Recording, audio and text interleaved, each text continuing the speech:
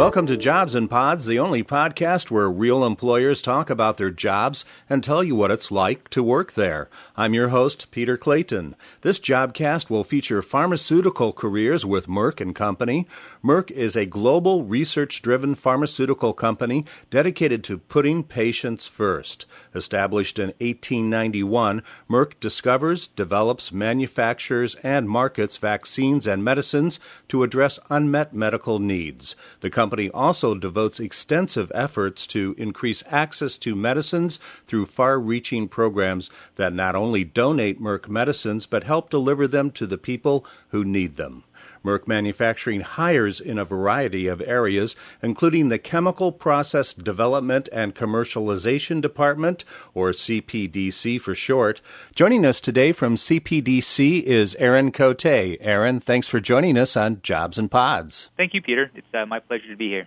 Without getting too scientific, Aaron, can you give us an overview of what your part of the company does? So, CPDC is uh, responsible for uh, developing uh, processes to make the active ingredient, which will ultimately be provided to uh, colleagues in the formulation area who will make that into the final drug product that will uh, supply cl- clinical studies, safety studies, and ultimately become uh, marketed drugs, we hope. Uh, we work very closely with colleagues in uh, process research chemistry group, developing both the uh, the lab scale process. So a lot of what we do involves process development in a lab, which is then translated into larger scale operations, uh, specifically in the pilot plants, which we also maintain and operate. We then transfer the knowledge that we acquire during that development to supply. Um, actually, we're responsible for commercializing the drug, and then ultimately we will take our process to a supply site where it will be applied through the uh, duration of our manufacture of, that, that particular drug product. Can you tell our Jobs in Pods listeners about technology development when it comes to creating new medicines and vaccines? I think technology development is actually sort of a, the, the core of what we do, and, and, it's certainly a large part of uh, what my department does. Uh, we've set up a technology oversight committee and a series of technology working groups and, and, and scouting opportunities uh, in order to make sure that, first of all, that we're developing the technologies that are that are core to to our job function, but also to make sure that we're we're looking outside our department and, and looking at other areas at Merck and, and outside of, of Merck and even outside of the pharmaceutical industry uh, to see what technologies are out there, which technologies are evolving and emerging, and which of those that we should be embracing and, and, and you know bringing in house and developing um, uh, expertise in to hopefully ultimately give us uh, a competitive advantage, allow us to do our work more efficiently, you know, have uh, lower cost processes and things like this. So uh, we actually spend quite a bit of time thinking about technology, thinking about how it fits into our overall strategy. I'm actually on on that technology oversight committee, and we've recently had a uh, cross-functional meeting with colleagues throughout Merck, talking about how how the strategies in these in the various areas fit together, and, and to make sure that we're aligned and and taking advantage of, of sort of all the synergies that exist between our, our various groups. Aaron, can you tell us what skill sets you typically look for in candidates that come into your organization? Sure. So we're predominantly a chemical engineering department. Um, we actually, our department used to be referred to as Chemical Engineering Research and Development. We've always been a, a process development group that uh, has both a, a, lab component and also a, a pilot plant or, or manufacturing component. Um, there are some chemists in our department as well. Uh, most are uh, localized in a specialized lab we call the Reaction Engineering Lab. But the chemical engineering and chemistry technical skills are really core to what we do. This is fairly sort of fundamental chemical engineering, the types of things you do learn a lot about in school. You know, so we're doing some of the standard unit operations of reactions and distillations and crystallizations, things that uh, you know a lot of the chemical engineers learn as core, uh, coursework uh, as part of their undergrad and grad degrees we're looking for people who are really strong in those areas. So this is like as I said, we put an emphasis on technology development. So we're looking for people who are very strong technically, people who are innovative, you know, who know how to solve problems, and people who seek out problems, people who have a mentality that's very much geared toward finding better ways to do things. It's a very dynamic environment. Mm-hmm. So uh, we see a lot of drug candidates. Uh, there's a, a lot of cross-functional interactions. There's a lot of balancing of priorities and multitasking required. So folks that thrive on that variety, that, that thrive on technical challenges, tend to, to do well, and those are folks we tend to target. There's a lot of uh, teamwork. Uh, emphasis is put on being able to communicate effectively, being effective collaborators, you know, being part of team-oriented sort of a, an atmosphere. Aaron, what impact does this organization make, and the roles within it on on your business? So I think what we're probably most responsible for really is developing robust, scalable processes, ideally uh, processes um, that can be uh, readily transported, or what we call portable processes. So, so processes that can be run in, in, in factories around the world.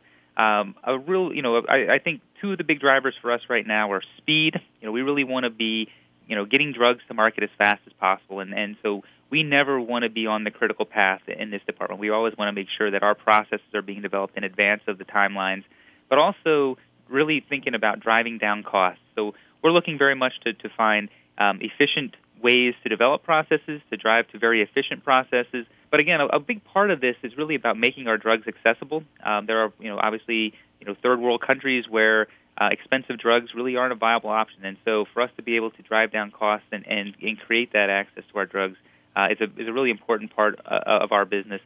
And again, this department, uh, we have the skills to be able to, to drive that type of, of process development, and that's a, a, large part of where they're applied. Aaron, can you talk about the uh, pharmaceutical industry as a whole? You know, things are, are really changing rapidly. Uh, what do you foresee in the in the next five or ten years? Yeah, I agree. There's there are definitely things changing, and unfortunately, a lot of those things are very difficult to forecast or uh, be completely prepared for. But I think there are some things that um, that we do see uh, in terms of trends, and one of those the drive to really be efficient, to really you know to find efficiency in everything we do uh, we talk a lot about lean manufacturing, lean processes.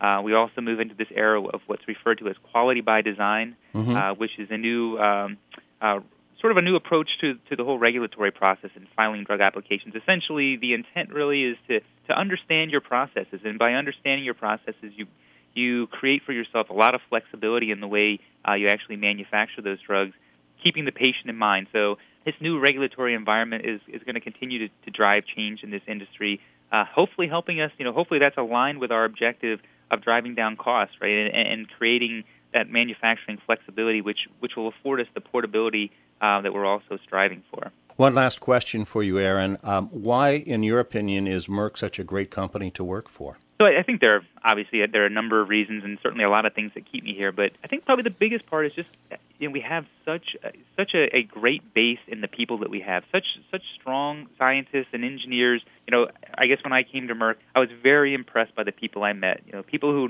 not only are very smart, and they obviously are, but people who are very engaged, very dedicated, very committed to what Merck stands for. You know, when we talk about putting the patients first and developing, you know, drugs to, to really improve the quality of life, that sounds great. And, and the fact is, it's more than just words. People live and breathe that. There are a lot of people here who are very much dedicated to it, and, and I think we all find great satisfaction in knowing that what we do matters. And you know, if if things like that move you, they motivate you, then you know it's a it's a great fit. But just being around people who are motivated and are inspired and so dedicated to what they do is is actually very motivating in and of itself. Uh, for me, that's probably the biggest thing. I mean, I feel very privileged to work in, a, in an organization that has created so many great opportunities to develop professionally, to get exposure to a, a quite a wide variety of different job functions and challenges. I mean, my job personally is, is very challenging, very technically uh, engaging.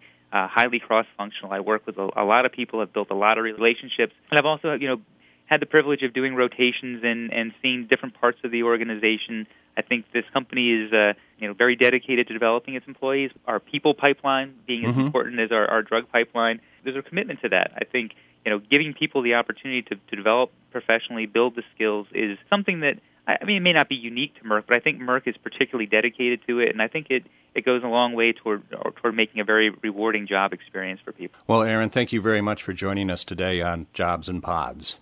Oh, it's my pleasure. Thank you. Aaron Cote is part of the Chemical Process Development and Commercialization Department at Merck and Company. To apply for jobs with Merck and Company, visit them online at merck.com, that's M E R C K.com, and click on Careers. For more jobcasts like this, visit jobsinpods.com. And don't forget, you can also subscribe to our jobcasts on iTunes. Just do a keyword search for jobs.